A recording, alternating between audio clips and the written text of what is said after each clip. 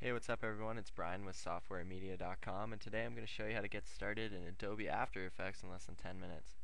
So when we first open up the program, we're going to want to start off by going New and choose a new project. Once we start a project, we're going to want to go to Composition up here and choose New Composition.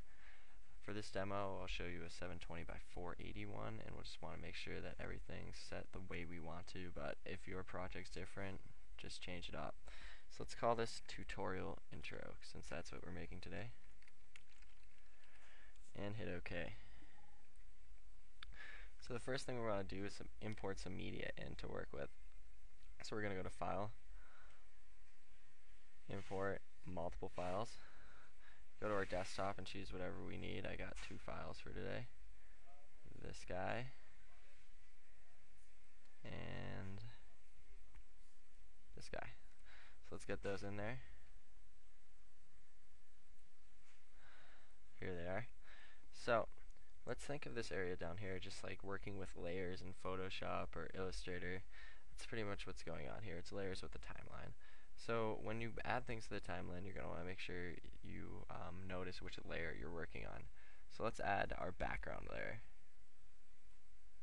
There it is, presto, all nice and centered, working for us perfectly. So let's move in our next one.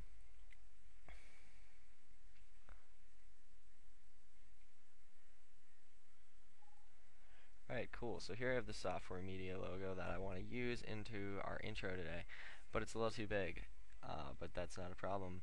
So let's go over here to this small little triangle and we can click down on it and then click down on the next one for transform. This is where a lot of our commands, um, and especially the ones we're working with today, um, all are. So let's go right here to scale and you can see we get this little uh, arrows next to the, th the uh, pointer finger. So let's uh, just scroll down with our mouse until we get the size we want. Looks a little weird right now, but that will fix itself. It's all good. So let me move it over here, make sure it's the right size that I need. Alright, cool. Right in the middle there. I'm going to make it a little smaller and move this up a bit. So cool, that's how we're going to want it.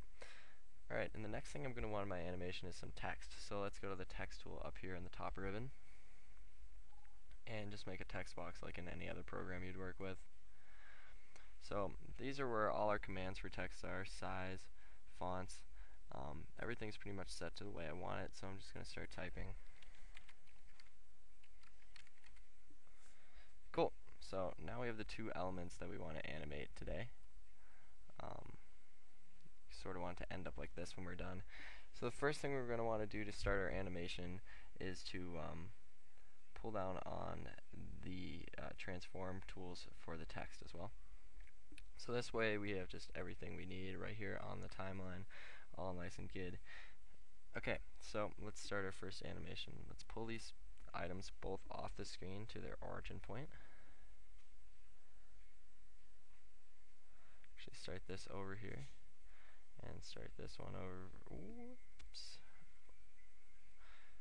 over here accidentally selected the background pretty easy mistake um, to fix just choose what you need again, and then pull that off the screen. Okay, so for the first one, we'll animate the logo coming across. So what you're going to want to do is choose this little stopwatch next to position, and uh, this allows you to control um, what you're doing. So let's click that, and now we can start moving things. Now notice this first little uh, yellow diamond down here. This is what we call a keyframe, and it's really important in uh, animating anything here in After Effects. So we have our keyframe set to 0 seconds here, which is exactly what we want. So let's pull um, this yellow band over to 5 seconds, which is where we want our animation to stop. And then we can just pull that across. And notice we have these little lines here um, that came across. This shows you how fast or slow the animation is going. So notice if I do this, um, they get closer together, meaning faster. And as we, whoops, we just accidentally double clicked there just go back here and as they move further apart um, they're getting uh, slower which makes sense so we have our two keyframes here and we can notice that if we go back to the beginning and hit our spacebar to play that uh, that moves across just like how we want it to Which is perfect. So let's say we want our animation, um, I mean the tutorials uh, word to start coming across here. So let's choose the stopwatch on the text. And that sets the position to right out here. So let's move this over to 5 seconds where our uh, animation stops there. And we'll just pull this right across. It's got this nice tool down here to let you know if you're keeping your animation straight or not.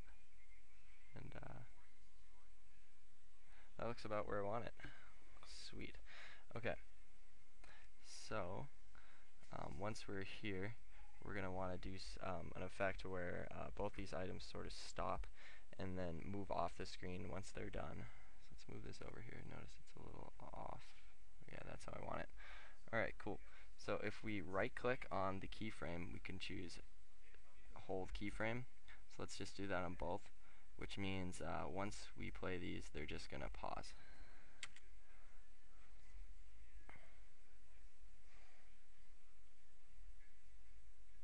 Perfect, that's the effect we wanted, so let's keep going there. Now to finish this uh, off, I'm going to want to add, um, you know, have these two things just fly off the screen. So we're going to want to go to about 7 seconds here because I'd like these two to display um, just permanently there. And uh, once we're at 6 or 7 seconds here, we're just going to make a little movement to make a new keyframe. And as you notice, we turned toggle uh, hold keyframe on. We're going to want to turn that off now so we can start moving things again. And let's just do that to both of our items so that they uh, start moving. Cool, and then we have our, uh, our new keyframes. So let's go over here to 8 seconds because I'm going to want these items to leave the screen, screen quite quick. So uh, let's just pull this off here and uh, I'm just going to make sure everything's straight. And notice as I did this, it's moving a lot faster, so the, the dots are a lot further apart. And uh, let's, uh, sorry, double clicked on that again. And let's just go back here and again we'll just pull it off the screen. Cool, so let's check it out and see how it looks.